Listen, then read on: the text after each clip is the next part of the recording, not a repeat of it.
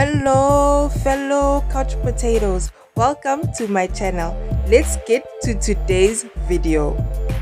This recap is all about recapping only my faves and my only single favorite left on the show is Artem. So let's get to recapping. The Dancing with the Stars semifinals had arrived and the remaining couples brought their A game with two separate performances, but two pairs were sent home once again in another heartbreaking elimination.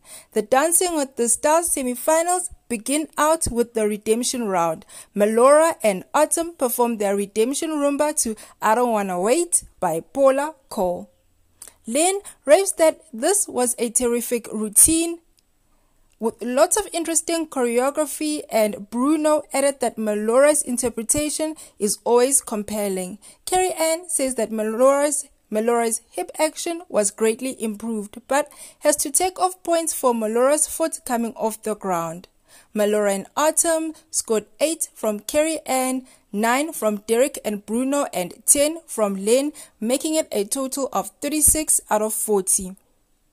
Melora and Artem, second dance of the night, is a contemporary to Thunder by Imagine Dragons. Len calls the performance lovely and full of attack and purpose, and Derek has to bring up Melora's powerful presence on the floor. Carrie Ann says that Melora is the most beautiful lyrical dancer.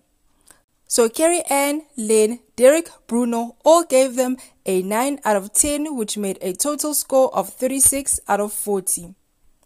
Now let's talk about the eliminations. The first couple to be eliminated is Melora and Artem. My heart broke. With what Melora said about last week's performance, I wasn't really shocked to see them eliminated. Then came down to the judges who they wanted to save. Carrie Ann chose to save Amanda and Alan. Derek Bruno also followed suit, saving Amanda and Alan. That meant Suni and Sasha are the second couple to be eliminated. Please stay tuned for Artem's full performances.